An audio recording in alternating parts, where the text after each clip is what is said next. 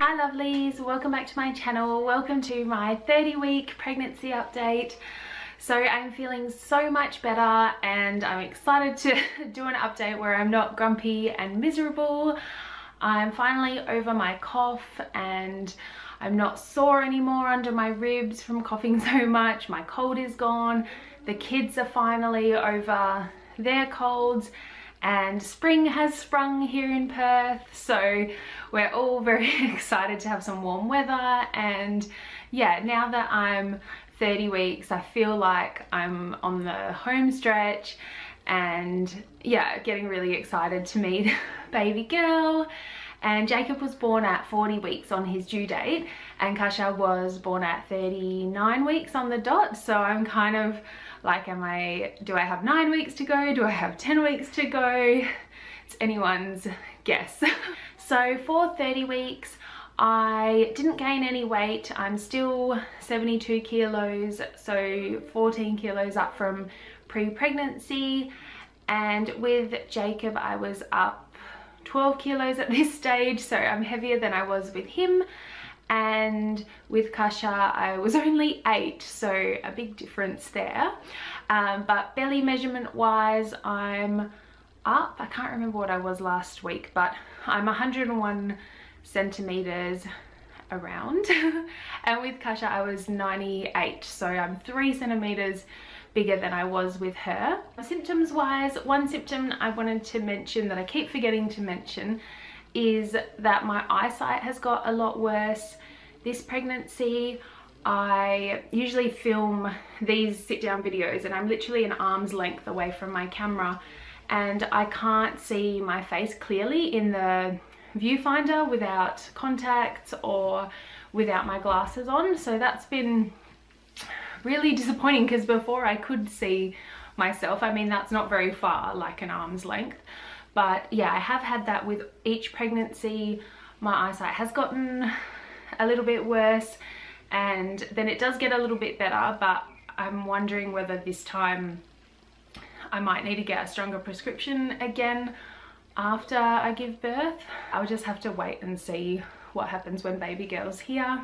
Pain wise, I still have the hip and pelvis pain, but I'm managing it still the same with the SRC recovery leggings, heat packs, lying down whenever I can and resting. And yeah, it seems to be manageable at the moment. One new symptom has been back pain and that's been quite annoying because it's been when I walk so if I'm doing the school run or if I'm walking around the shops, I'll start getting this stabbing pain in my back, which yeah, is, I haven't had up until now. But uh, same thing, I've just been using heat packs and resting whenever I can. And along with that, I've been having a ton of Braxton Hicks, which I did get earlier with my second pregnancy. And this time I feel like it's even earlier. I think with Kasha, it started like ramping up at around 34 weeks whereas I've had it for at least two three weeks where it's steadily getting worse. And now sometimes I'm even doing the school run and I have to go really slowly because they just go one after the other. And although it's not painful I'm not worried that I'm in labor or anything like that. I just get such a uncomfortable tightening that it literally stops me in my tracks um, because I know if I just keep walking and push through it, they'll just continue one after the other. So yeah, that's sometimes a bit funny with the kids when we're walking along and I'm like, okay, mummy needs to really slow down now. Just wait until this passes and then, and then we can go again. but apparently that's quite normal with um, each subsequent pregnancy they can get a lot worse. Other than that I've had a few first trimester symptoms come back the tiredness because obviously now I'm bigger, baby girl's stacking on the weight to get ready for her arrival and yeah I definitely do feel more tired. It's not too bad I think it's a little bit in combination with I've got borderline low iron but I have been struggling to take my iron supplements. I've been trying to take the um, dissolvable ones because the tablets were making me feel really nauseous but yeah, I haven't really won with a certain one that I can take without feeling too sick. So yeah, and the other thing is I have been off meat. Like I just haven't been really going for meat. I'm more wanting veggies and um, fruit and sweet things, which has been quite normal for me with like girl pregnancies. So yeah, I think it's just a combination of like third trimester, getting tired and yeah, my iron being a little bit low. Um, I've also had a little bit of heartburn, which I know I had earlier in my pregnancy and what was the other one? Nausea. And i think that's just because baby girl like seems quite high still. Like i feel her movements um, up near my stomach and everything's obviously squished up. So yeah it's making me just feel yuck and yeah nauseous at times. Even her movements she moves so much and i think that's because my placenta isn't at the front because it must have been at the front with the other kids because I've never felt movement as much or as high as I do this time around. Like I feel like she's sitting very high and yeah, some of her movements are so strong that I, I literally feel like my stomach turns a little bit. Like, yeah, it's a weird feeling, but I do love feeling her movements. That's one of my favorite parts of pregnancy. But yeah, this time it's been pretty intense and she is such a wiggle pot. she just does not stop moving all day, all night. It's crazy. If she stops, I'm like, oh, she's actually sleeping.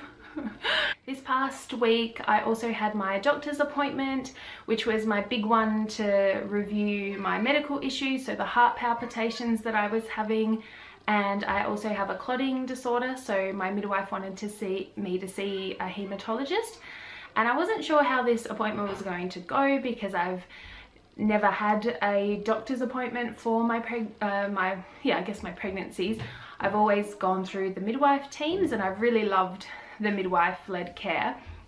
So yeah but it turned out to be way less intense than I thought it was going to be. It was just one doctor and we talked through you know my heart palpitations and agreed that it wasn't necessarily a pregnancy related thing and it wasn't caused by the pregnancy.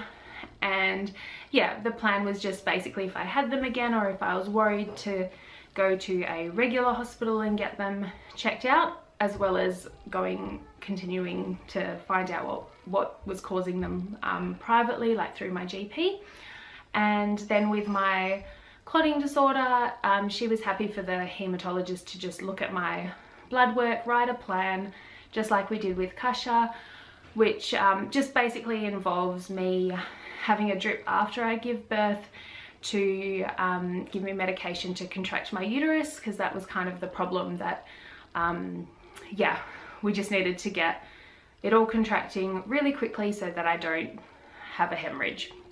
So yeah, that completely worked last time with Kasha and I didn't have any problems. So I was quite happy for that to be the plan this time around as well. I felt really good about the appointment. She was happy for me to go back to mid midwife-led care, which is essentially what I wanted. So yeah, really happy. And my next appointment now is in four weeks, which is crazy because I'll be, I think 33 weeks when I see them again. So yeah, I feel like my appointments are still stretched out quite long.